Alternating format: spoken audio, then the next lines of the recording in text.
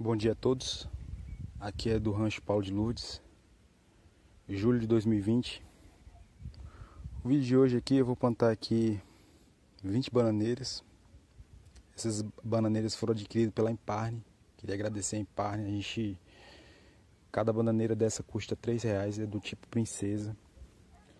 Então as pessoas que querem fazer um plantel aí de de banana, é interessante procurar esses órgãos do governo, sabe? Porque tem um preço acessível e é um produto de qualidade, né? A gente sabe que elas são feitas em laboratório, né? De, de, uma, de, assim, tem uma seleção. Com certeza a produção e a qualidade do produto vai ser melhor. Na fase do processo, a gente vai fazer o adubo, o adubo para colocar na, bananeira, certo? Aqui é a minha composteira, já tem alguns vídeos mostrando ela. Vou mostrar aqui de novo para vocês como é que tá. Então o que acontece?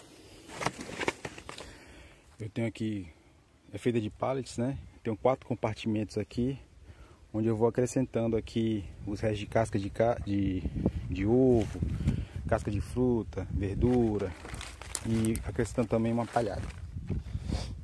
Bem, essa aqui foi a última. Aquela ali, no caso, faz quatro meses que já está ali, está no ponto da gente poder fazer o adubo. Eu vou triturar mais uma vez, vou passar ali no meu triturador ali, para criar um adubo mais menor e ter uma homogeneização maior, certo? Também boto cinza, também o pó de osso, pego o osso, fazer quando eu estou na churrasqueira, eu uso, deixo o osso passar pelo processo de carbonização. Então aqui tem, vai ser, essa aqui tem três meses, essa aqui tem, desculpe, quatro meses, três meses, dois meses e essa aqui ainda está em processo de compostagem, ainda que o mês não terminou. Eu até trouxe ali os restos de frutas de casa que eu vou colocar. Então agora eu vou triturar no triturador e volto de novo com vocês.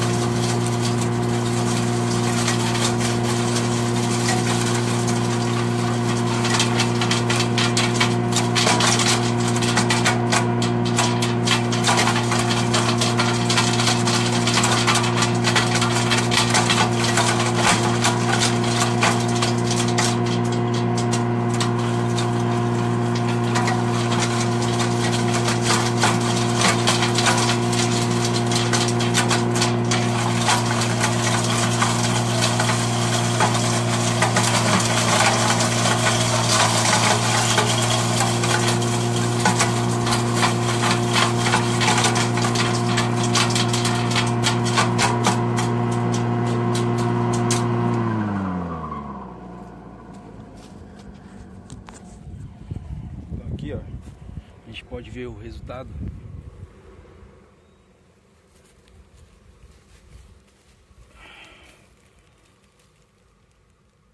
Fica bem mais fácil da planta, da planta absorver. E mistura também, né?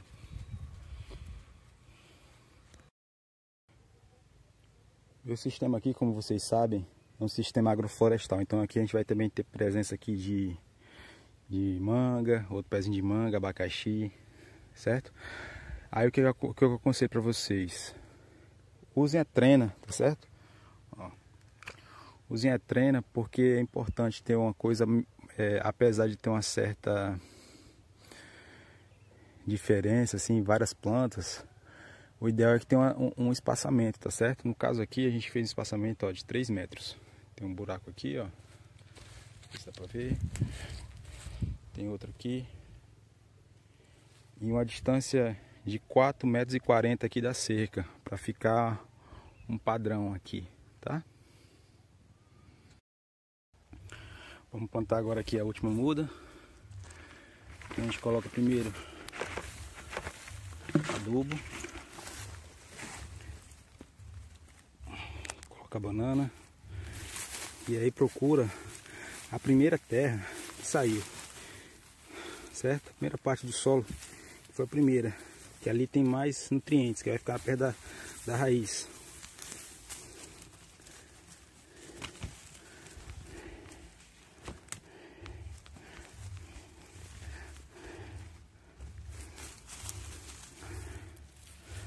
Aperta um pouco aqui a lateral. Para ficar tudo em contato com o solo. Outra coisa importante, pessoal, é você aguar viu, logo após o plantio. Porque ela vai passar por um estresse agora, né? Estava num ambiente, está indo para outro. Um abraço a todos e fiquem com Deus.